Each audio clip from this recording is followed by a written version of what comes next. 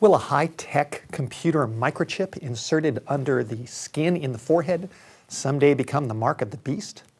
You're about to find out on His Voice today. Welcome to another His Voice Today with Steve Wohlberg. The title of today's message is called Marked in the Forehead. We're going to take a look at one of the hottest and most controversial issues found in God's book in Bible prophecy. In the book of Revelation, chapter 13, verse 16 and 17, we have a stunning prophecy about what is going to happen in the future.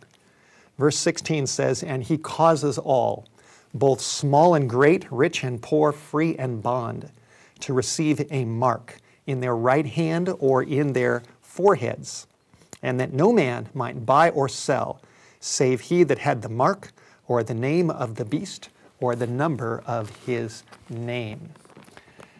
Millions of people, including me, uh, believe that we are definitely living in the last days of human history. There are just so many indicators all around us that Jesus Christ is coming soon and that it won't be long until we find ourselves in the middle of the final crisis.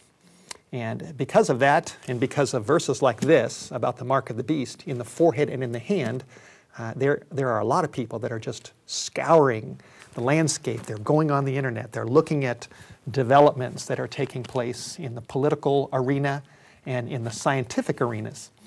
And they are trying to figure out whether the mark of the beast is even now at the door. If you go on the internet, which I did just yesterday, and do an internet search for mark of the beast, microchip, computers, things like that, you will find a whole host of articles and, and different kinds of documentation that are attempting to prove that the mark of the beast is about to be enforced. I've got a stack of some of these articles in my hand, and let me just share some of the information that I, that I discovered. Uh, here's an article that came out from a ministry called These Last Days. February 13, 2013. The title is Will the Mandatory, mandatory Microchip in Obamacare End Up Being the Mark of the Beast? It says here on March 23, 2013, the microchip in the Affordable Care Act of 2010 will become mandatory. There's, that's a pretty startling thing inside the bill that 95% of Americans will not like. Obamacare has a microchip implant for you. The Obama health care bill includes, under Class 2, Paragraph 1, Section B, a Class 2 device that is implantable. It says, this article, that it is approved by the FDA, that this implantable device is an implantable, quote, radio frequency transponder system for patient identification and health information. The article goes on and talks about even kids will be required to get this, this um, implantable device. The program is called Children's Health Insurance Program. It's part of Obamacare, and it's uh, abbreviated CHIP. And it says eventually uh, everyone will be implanted with a chip. It's a pretty scary idea. Now, as I flip the pages to another article, it says here that the technology for the mark of the beast is here now and it has to do with uh, devices under the skin that are called smart skin devices. This article continues and it talks about skin mounted electronics that contain a diverse array of electronic components that can be mounted on a thin rubbery substrate, including sensors, LEDs, transistors, wireless antennas, and solar cells for power. And you know, as people read articles like this and uh, they look at their Bibles and what the Bible says about the mark going in the forehead, uh, there's a lot of people that just look at this and look at the Bible and think that this must be it. This must be the fulfillment of Bible prophecy. But as you keep reading some of these articles, then some glitches come into the mix, uh, like this one. Here's another article that says VeriChip microchip implants cause fast growing malignant tumors in lab animals. And this talks about a, a, report that came out from the Associated Press, a breaking story that revealed that microchip implants have induced cancer in laboratory animals and dogs. The Associated Press will report a series of research articles spanning more than a decade, finding that mice and rats injected with glass encapsulated RFID transponders developed malignant, fast growing, lethal cancers in up to 10% of the cases. And one observer that was uh, looking at this, this reality made a comment that these new revelations change everything. Why would anyone take the risk of having a cancer chip in their arm? Well, I continued to read and I found some more potential problems with the technology uh, idea of microchips implanted in everybody's heads or hands. Here it says concerning microchip implants that someone named Katina Michael, associate professor, professor of the University of Wollongong School of Information Systems and Technology, this was her comment. She said, At this moment, uh, it's not likely that these implants will be used wisely, widely because it will be a life sentence to upgrades, virus protection mechanisms, and inescapable intrusion into human lives. Uh, and so, you know, I know that people are talking about microchips. I know that there are those that want to see this happen, but there are others that are doing research and saying that they can cause cancer, that uh, they can cause all kinds of problems. And, and, just think about the practicalities of something like this. Let's say that something was in, implanted in the skin of the forehead or in the hand, some kind of high-tech uh, device. I mean, what if, what if they developed a virus? Uh, what if hackers decided to you know, hack into the system and hack into your hand or into your head? Uh, what if they continue to need upgrades? What if the technology wears out? You know, as with computers, I've got my, my laptop in front of me and operating systems are changing all the times, all the time. So if you think of the logistics of technology, you know, going in the skin, on the hand, and in the forehead, uh, it's, it's really pretty mind-boggling. You know, I've thought about this, and I've, I've got my smartphone right here, and I've thought, well, you know, could this develop at some point so that people could have, they could have calendars in their hands, they could have, um, you know, their entire schedule, they could play games, video games, they could download things from the internet. Uh, you know, I, I think the technology is probably out there, but the, the potential for logistical problems is enormous. But then somebody might say, but Steve, uh, you know, that's what the Bible says. The Bible says that there's going to be a mark that's going to be placed in the hand and in the forehead. And let me tell you that I believe in the Bible. I believe exactly what it says, but I can't help but wonder whether this whole topic uh, reveals something that is more than skin deep. So let's, let's go deep. Let's analyze this topic. Let's take a look from the Bible and see what we can find. Uh, there's a verse in Proverbs chapter 18, verse 17, that says, The first to present his case seems right until another comes forward and questions him. I, I think about the time when Jesus was first born in Bethlehem. The religious leaders of the day, they were absolutely sure that they had, they had things figured out.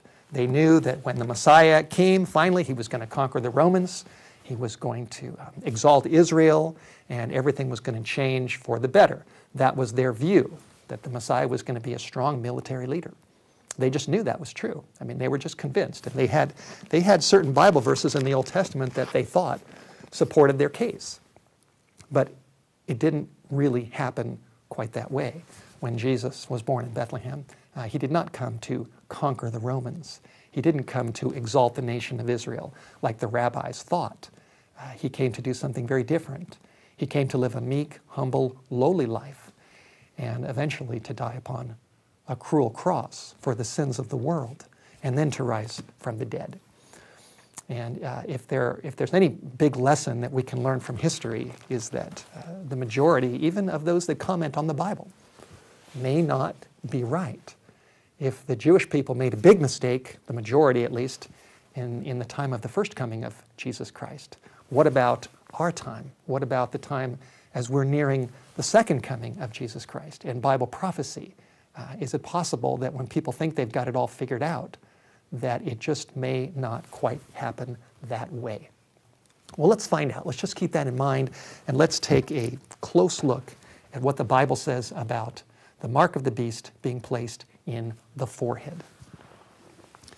Revelation chapter 14, verse 9, gives us a warning about the mark of the beast. Verse 9 says that the third angel followed them, saying with a loud voice, If any man worships the beast, now notice that word beast, and his image and receives his mark in the forehead or in the hand. So, uh, first of all, before we actually look closer at the forehead idea, uh, we need to, to keep in mind, we need to remember, we, we mustn't forget that the mark of the beast, whatever it is, is something that comes from the beast. B E A S T, from the beast. Now, when you read the book of Revelation and you look at what Revelation says about the beast, uh, it's very obvious that there is a lot of what I call sacred symbolism that is being used in these prophecies. Revelation 13, verse 1 says, I stood upon the sand of the sea, and John said, I saw a beast rising up out of the sea, having seven heads and ten horns. And upon his, his horns were ten crowns, and upon his heads the name of blasphemy. Verse 2 says that this beast was like a leopard. His feet were like the feet of a bear, his mouth was like the mouth of a lion, and the dragon gave him his power and his seat and great authority. So here is a beast with seven heads, ten horns, a body like a leopard, mouth like a lion, feet like a bear, and then this dragon gives him his power. Now, obviously, uh, there's not going to be any real, literal, seven headed, ten horned beast that's going to be running around. Uh, this is a symbol of something else. It's a symbol of, uh, of Antichrist. But it is a symbol. It's not something that we should be taking, taking literally. We find lots of symbols in Revelation. Revelation chapter 17 also talks about a woman. In Revelation 17, verse 3, John wrote, He carried me away in the Spirit, and I saw a woman. She was sitting upon a scarlet colored beast full of names of blasphemy, having seven heads and ten horns. And this woman was all uh, decked out with various jewels. She had a golden cup in her hand, full of abominations and fornication. And verse 5 says, Upon her forehead was a name written Mystery, Babylon the Great, the mother of harlots and abominations of the earth. Now, obviously, just like the beast, this woman is a symbol. And it is significant that this woman has something on her forehead. And as we think about the mark which is enforced on the forehead, uh, again, the mark comes from the beast. And the beast is a symbolic beast that represents something else. Mark of the Beast is perhaps one of the most misunderstood mysteries of the Bible, but it need not be. Speaker Steve Wohlberg explains the Mark of the Beast in his eye opening series titled Mark of the Beast Mysteries. Mark of the Beast Mysteries is a four part DVD series for only $19.95. To order your set today, call 1 800 78 Bible. That's 1 800 782 4253. You can also order this series on our website, www.whitehorsemedia.com. Now, what about the forehead? Let's analyze this forehead idea. Uh, we know that the beast and the woman are symbolic, but what about the forehead? Is this also used in a symbolic way in the Bible? Well, we just read in chapter 17, verse 5, that upon the forehead of this woman was this name, Mystery, Babylon the Great, the mother of harlots. Obviously, there's not going to be a real woman riding a seven headed, ten horned beast that's going to be running around with something literal on her, on her head, uh, between her eyes, above her nose. So, symbolism is involved. If you go back to chapter 14, right after Revelation warns about the mark of the beast going in the forehead, verse 1 in chapter 14, John wrote, I looked and lo, a lamb stood on Mount Zion and with him 144,000, having his father's name written in their foreheads. Now, this is not the devil's people, but this is a revelation of God's people called the 144,000, and they have God's name in their foreheads. Now, do you think this means that God is going to write something uh, on the skin, above the nose, between the eyes of this group called the 144,000 so that when people look at them, they see writing? Or is that writing uh, a symbol of something else? In chapter 22 of Revelation, the last chapter of God's book, in verse 4, this is talking about all of the saved from all ages who all are finally gathered together into one group and who enter eternity and who live with Jesus forever. And in verse 4, it says that they shall see his face, and his name, meaning the name of God, shall be in their foreheads. So here it says that all of God's people are going to have something in their foreheads, not just the 144,000. Now, what does this mean? Does that mean that throughout all eternity, uh, if I were to run into you or you were to talk to me, that we would look on each other's foreheads and we could see God's name written on our skin? Do you think that's really what it means? I don't think so. And, and I'm not just speculating, I'm not just guessing. I've got uh, solid facts behind my conclusions, and let me share them with you. The idea of the forehead in Revelation and the hand actually goes back to the Old Testament. There are Old Testament roots for much of what we find in Revelation, and it's certainly true when it comes to the forehead and the hand. In Deuteronomy chapter 6, we have a very famous statement of Moses to the Israelites. It's called the, the Shema. Jewish people call this the Shema, where Moses told Israel about their obligations to the Lord. And in verse 4, Moses wrote, Hear, O Israel, the Lord our God is one Lord, and you shall love the Lord your God with all your heart, with all your soul, and with all your might. And these words which I command you, these words of God, shall be inside your heart. You shall teach them diligently to your children. You shall talk of them when you sit in your house, when you walk by the way, when you lie down, and when you rise up. And then in verse 8, Moses said, And you shall bind these words for a sign, which is like a mark, for a sign upon your hand, and they shall be as frontlets between your eyes. So Moses said that God's words were to be like a sign on the hand and right here between the eyes in the forehead. Now, if you think, if you think about what this means, uh, God didn't mean for the Israelites to literally take the words of Deuteronomy, the whole book, and put it on the hand or on the head. Uh, those Jewish people would, would have had to have had very large foreheads in order to get the whole book of Deuteronomy on the skin. Uh, obviously, it does not mean that. God's intention in giving this prophecy meant that His word, His word was to be on the hand representing their actions, and the forehead representing, in the forehead representing their thoughts. In other words, God wanted His word to be in the minds of His people, and He wanted them to do it, to carry it out in their practical lives.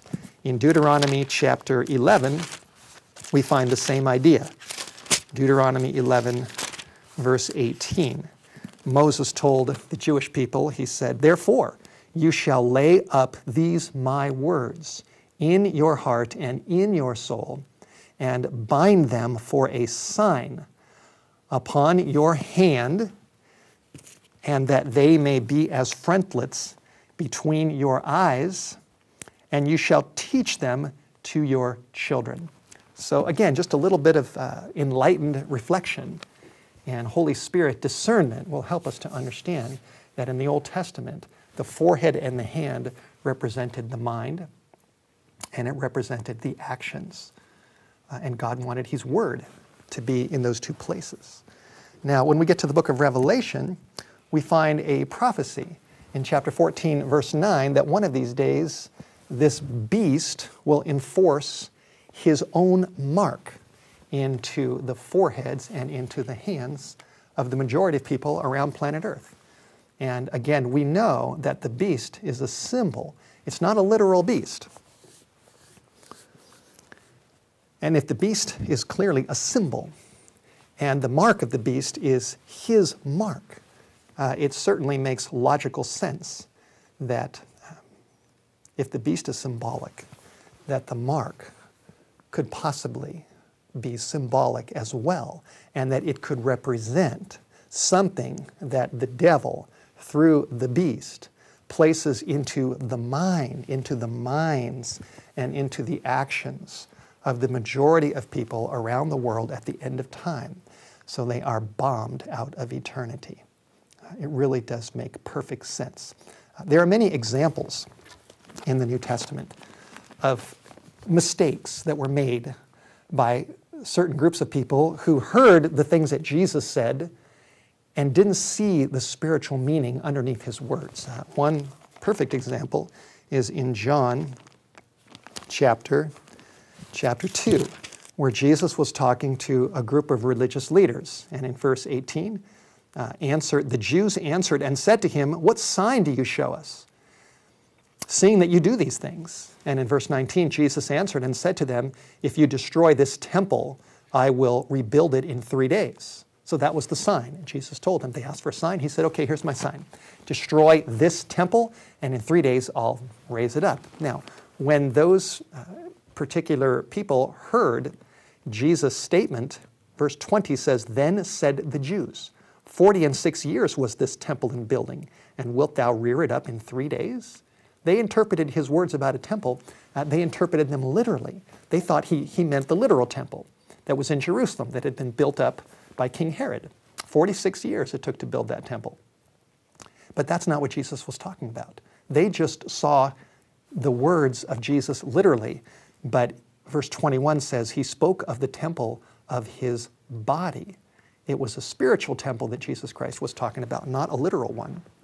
We find examples of this over and over again in the New Testament. In John chapter 3, Jesus told Nicodemus he must be born again. But he thought literally and said, How can I go back in my, into my mother's womb and be born? But Jesus was talking about a spiritual birth. In John 4, Jesus offered a woman uh, the water of life, and she thought he was talking about literal water down in the well. But he was talking about the spiritual water of life. Uh, in John chapter 6, Jesus told a group of people, you, had, you need to eat my flesh and drink my blood, or you don't have eternal life. And they thought he was talking about cannibalism but really he was talking about his word, about the word of God, the word of Jesus Christ, his own words that they needed to take in to their hearts and into their lives. So, with all this information, when we get back to the book of Revelation, and Revelation warns us about a mark that is coming from a beast that is going to be enforced into the foreheads and into the hands of people around the world uh, it just makes perfect sense that we would look at this prophecy as applying to something more than skin deep. Uh, I'm, I'm, reminded of the Persian Gulf War that took place uh, 1990, 1991. The Iraqis had invaded Kuwait and they were getting close to controlling a lot of oil. And this galvanized many of the world nations to put together a coalition led by the United States called Operation Desert Storm to go into Kuwait and to liberate that country. And it's, uh, it's very significant that one of the main strategies of the Allies was, was decoy attacks. Here I've got a report that says U.S. decoy attacks by air attacks and naval gunfire the night before Kuwait's liberation were designed to make the Iraqis believe that the main coalition ground attack would focus on central, central Kuwait. But it didn't. This was a decoy. It was a strategy to get the Iraqis looking in one direction when the bulk of the uh, attacks came from another direction. And in the Gulf War, that strategy was very effective. It was very effective. Uh, military strategies of decoys work very well.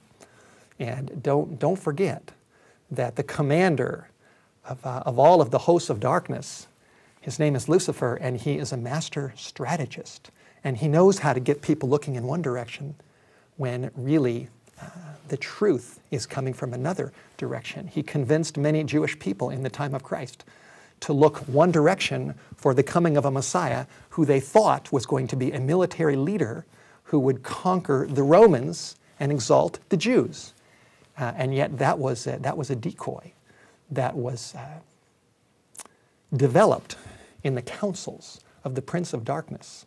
And when the real Jesus actually came, and he didn't come to do what that decoy was designed to get people to think he was going to do, what happened was they, they, they missed him, they missed him or who he was entirely.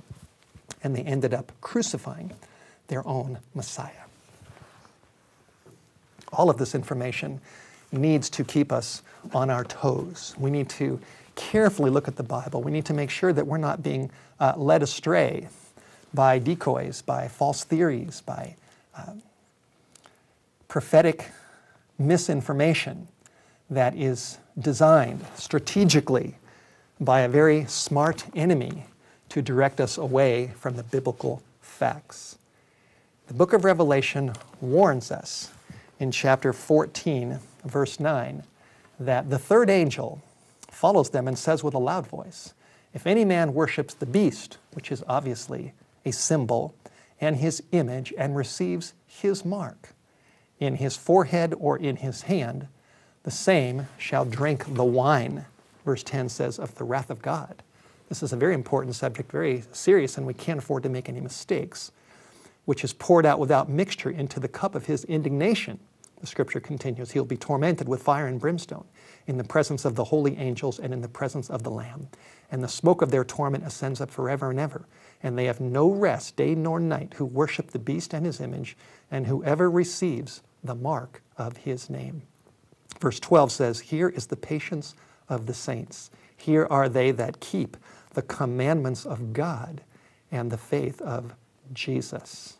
In our next program, we will uh, actually identify what the mark of the beast is. It's going to be uh, very controversial.